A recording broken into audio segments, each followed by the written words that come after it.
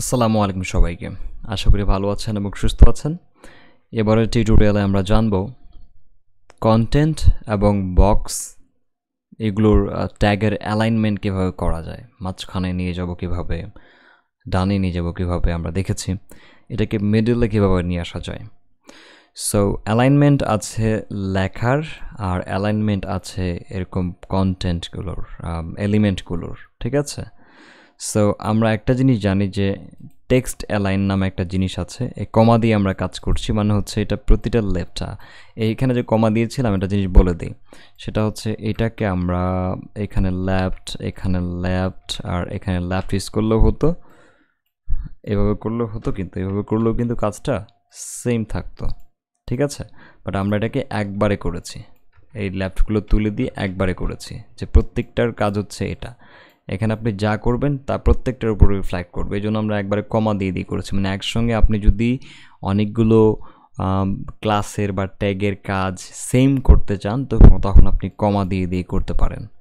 Clear এটা এই অপশনটা ছিল, বলে দেওয়াটা ভুলে গিয়েছিলাম। আচ্ছা এখন আমরা যেটা চাচ্ছি যে আমি লেখাটাকে মিডি ল্যাগে নিয়ে আসব। তাহলে এটার লেখাটার টেক্সট লাইন সেন্টার তো দেখবেন টেক্সট লাইন কী হবে প্রতিটারই সেন্টার হয়ে গিয়েছে ওকে এই তিনটাই আমরা মিডিলে কীভাবে নিয়ে আসব? তো সেটা করার জন্য প্রথমত আপনাদেরকে আমি একটা জিনিস শেখাই, সেটা হচ্ছে এখানে একটা আমি একটা ডিআইভি দিচ্ছি। সাপোজ খুবই সিম্পল ডিআইভি একটা জিনিসকে মাঝখানে নিয়ে যাওয়ার জন্য কি পদ্ধতি আছে?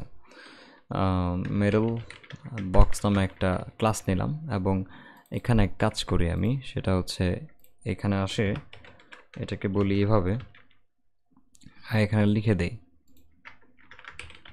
মিডল তো কী আর হবে এটা? নিজে এখানে চলে আসছে রাইট আচ্ছা এখন যদি কাজ করি সাপোজ সবগুলো তো ফ্লোট লেফট করা আছে ফাইন এখন আমি চাচ্ছি যে এই মিডল বক্সটা লেফটই থাকবে। তো কীভাবে এটা করা যায়? তো প্রথমত যদি আমি এগুলোকে তুলে দেই, এখানে নিয়ে আসি এবং এটা সেভ দেই, তো দেখুন যে এখানে কিছুই নেই, এটা এখানে পড়ে আছে। আচ্ছা এরপর আমি এখানে একটা ব্যাকগ্রাউন্ড সেট বর্ডার সেট করে দেই। টু পিক্সেল সলিড রেড একটা জিনিস লক্ষ্য করবেন বর্ডার কিন্তু হয়ে গেছে। আচ্ছা যেহেতু এর জায়গাটা পুরোই দখল করা আছে এটা মিডিল হবে কীভাবে? যদি ছোট হতো তাহলে না মাঝখানে এসে যেত, তাহলে ছোট করে ফেলি। সো আমরা যদি বলি এরকম উইথ এগারোশো সত্তর পিক্সেল তাহলে দেখবেন এটা একটা ছোট আকার ধারণ করেছে। এখন যদি বলি মার্জিন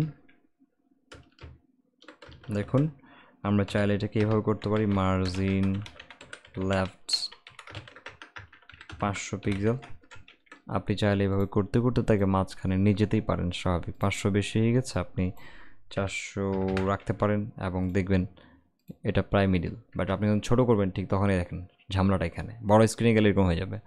তো এক্স্যাক্টলি অলওয়েজ মিডিলে কীভাবে রাখা যায়? সিম্পল আমরা এখানে বলতে পারি মার্জিন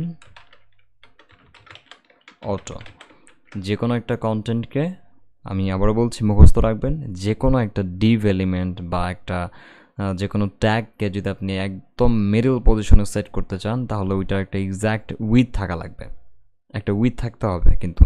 সো উইথ আমরা দিয়েছি একশো সত্তর পিক্সেল অ্যান্ড তারপর ওইখানে বলতে হবে মার্জিন অটো তাহলে ওটা অটোমেটিক মাঝখানে চলে যাবে। দ্যাটস ইট মাঝখানে চলে আসছে, এবার ছোটো করেন, মাঝখানে। বড় করেন, মাঝখানে।